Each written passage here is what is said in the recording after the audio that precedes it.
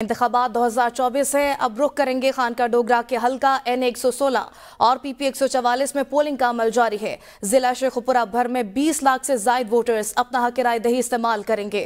Police की जाँच से सिक्योरिटी के इंतहाई सख्त इंतज़ाम भी किए गए। हमारे नुमाइंदे मुदसर अली भट्टी से मजीद जानते जी मुदसर बताएगा क्या सूरत हाल है इस वक्त? जी, बिल्कुल खानगा डोगरा में भी एन ए एक सौ सोलह और P P one forty four में जो इलेक्शन की गहमा गहमी आज अरूज पर है। वोटर जो है, वो अपने उम्मीदवार को वोट डालने के लिए वो मुख्तलिफ़ पोलिंग स्टेशनों का रुख कर लिया है और जो उम्मीदवार हैं, उनके वोटर सपोर्टर हैं, वो जो वोटर हैं, उनको घरों से निकाल कर वो यहाँ पर पोलिंग स्टेशनों पर ला रहे हैं और वोट डलवा रहे हैं।